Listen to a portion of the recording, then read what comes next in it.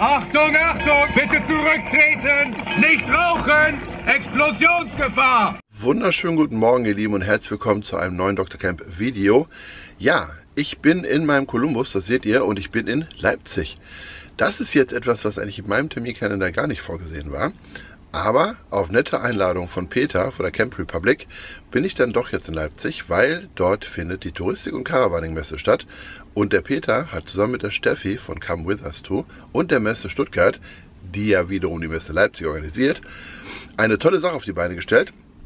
Es handelt sich dabei um das erste, oder die erste? Ja, die erste Vans and Friends Lounge auf einer Messe, wo wir mit verschiedenen Bloggern und YouTubern unterwegs sind und werden dort Fragen beantworten, Vorträge halten, ins Gespräch kommen mit Leuten und einfach eine gute Zeit haben. Das ist der Plan.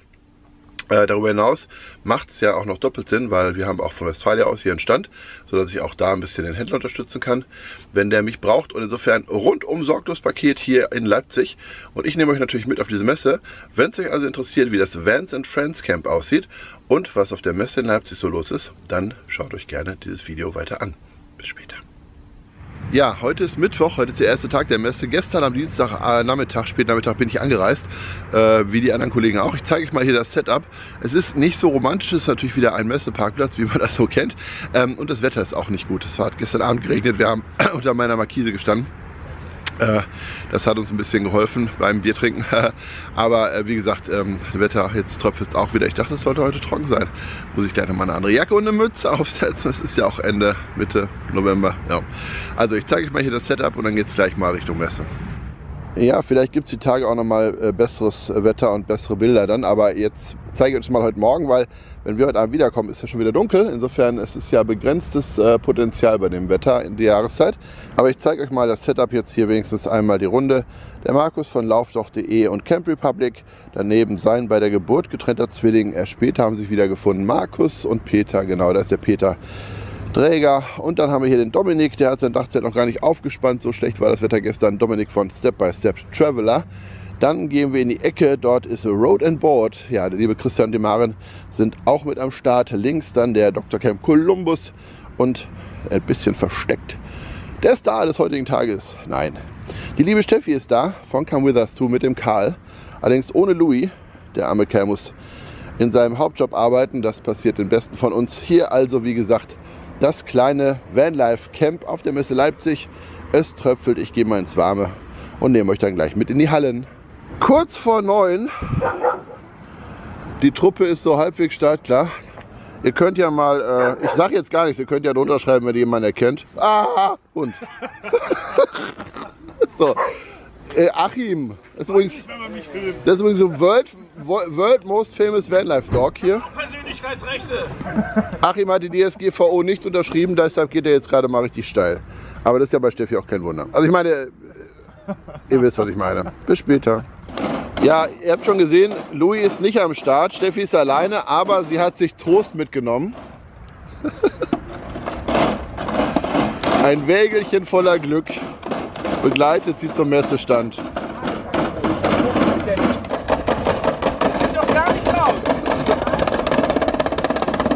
Oh Mann, wo bin ich hier nur wieder hingeraten?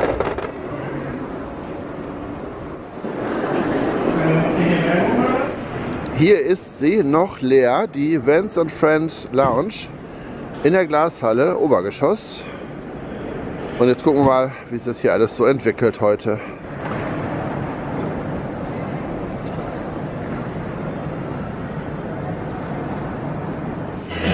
Ist der Dominik. Leute, ihr glaubt das nicht, es ist noch nicht mal 10 Uhr. Wir werden überrannt. Die Vanlife Lounge ist ein Riesenerfolg. Ich zeige es euch mal ganz kurz. Es ist unfassbar. Schaut euch diese Massen an, die hier uns sehen wollen. Na gut, es liegt vielleicht auch daran, dass die Hallen erst um 10 Uhr öffnen und wir am Eingang sind. Aber wir vertrauen einfach darauf, dass auch viele Leute sich für uns interessieren werden und unsere Vorträge. Aber hier ist jetzt erstmal, oh Achtung, magische Moment.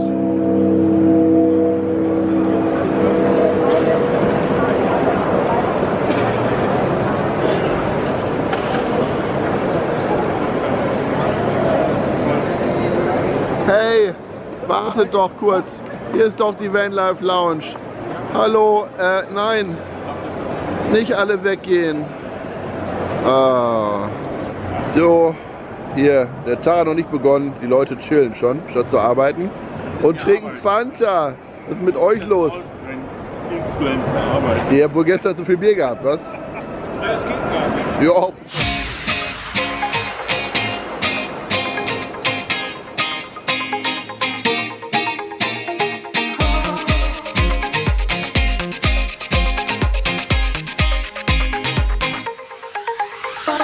Ich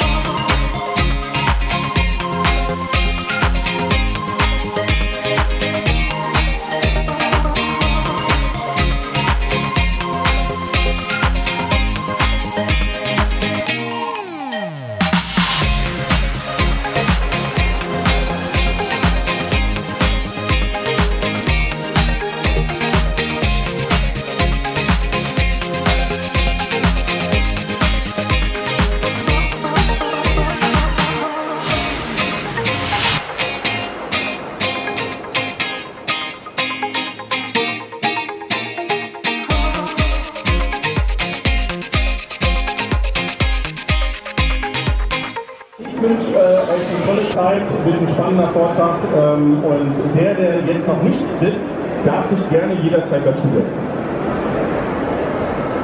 So, wir machen kurz einen Mikrocheck. Hört man mich? Hört man mich? Was? Was? Äh, Marin, willst du auch mal?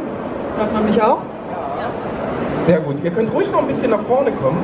Ich würde sagen, tatsächlich, äh, herzlich willkommen hier in Leipzig. Vor allen Dingen äh, für uns was ganz Spannendes. Und ich würde sagen, du bist aufgeregt, ne? Ein kleines bisschen. Ich mehr. Aber äh, wir legen einfach mal los.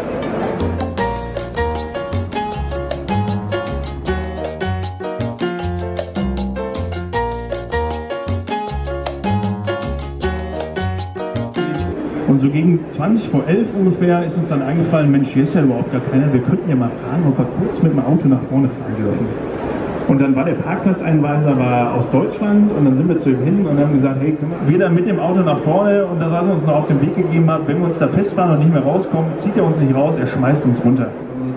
Wir arbeiten tatsächlich den größten Teil im Van, sind viel im Van äh, unterwegs, haben trotzdem noch äh, ein Zuhause, aber der äh, größte Teil unserer Touren, unserer Arbeit findet im Van statt.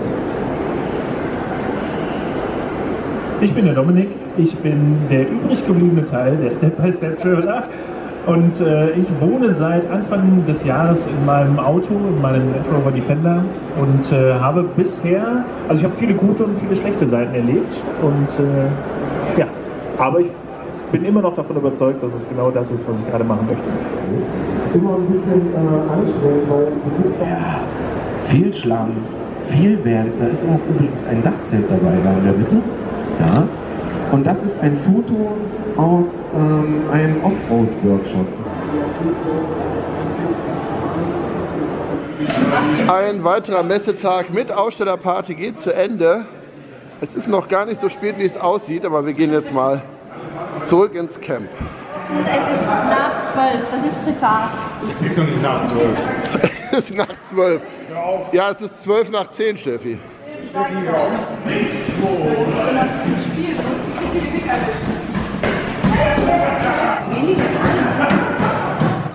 Thüringer Wald, genau. Vielen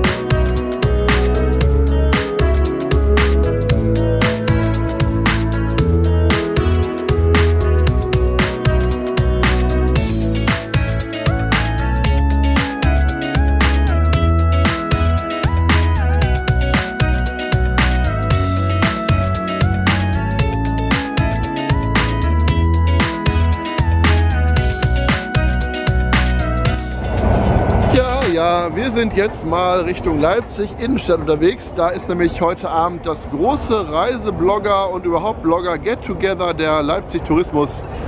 Heißt es GmbH, ich weiß es nicht. Aber hier tolle S-Bahn-Stationen hier in Leipzig. Alles neu gebaut, natürlich damals.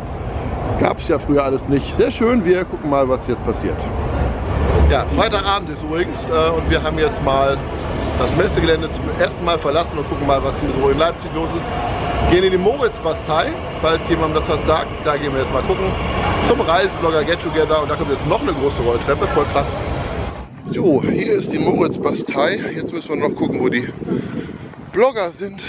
Wo ist hier der Eingang? Reiseblogger Barcamp hier runter. Wir sind keine Reiseblogger, doch wir sind auch Reiseblogger. Auch Camping ist eine Reiseform. Das ver- verwechseln ja viele Leute immer mit. So, wir sind jetzt kurz vorm Check-in ins Gewölbe.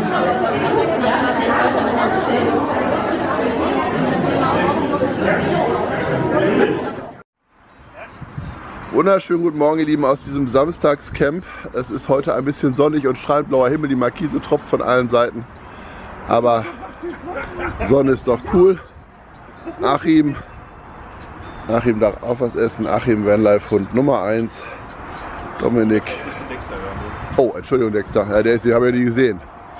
So, so sieht es aus bei uns an diesem Samstagmorgen und in einer halben Stunde geht es zur Messe. ganz vielen Fahrzeugen ausstatten will, damit ganz viele, die das erlebt haben, was ich erlebt habe, nämlich den Krebs hinter sich zu bringen oder auch mit Krebs zu leben, Ja, jetzt gerade Vortrag zum Projekt Heldencamper. Auch das gehört hier dazu, dass wir auch diesen Aspekt mal zeigen. Und äh, es ist sehr, sehr gut besucht am heutigen Samstag und wir freuen uns, wie es weitergeht. Es ist ja erst 12 Uhr.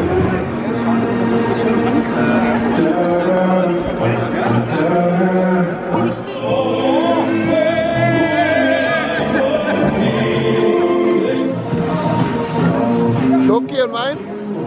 Vegane Schoki. Der Louis nicht dabei.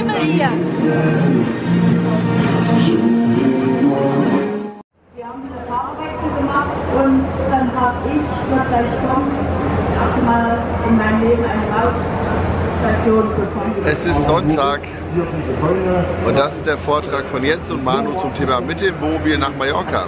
Auch das geht scheinbar. dass wir Kilometer, weil wir erstmal wirklich Kilometer machen wollten, dort auch gemacht haben. Das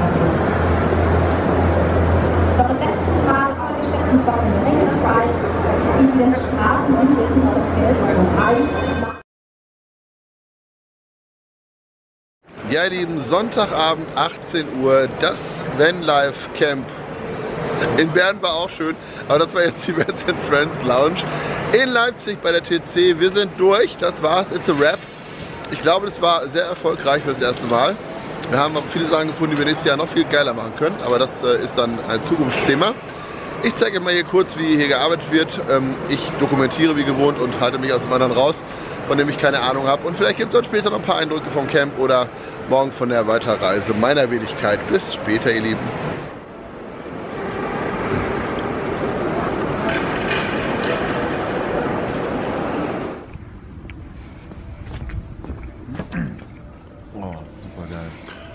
So ihr Lieben, wie es sich für Camper gehört und Blogger gehört, weil Geld haben wir alle nicht.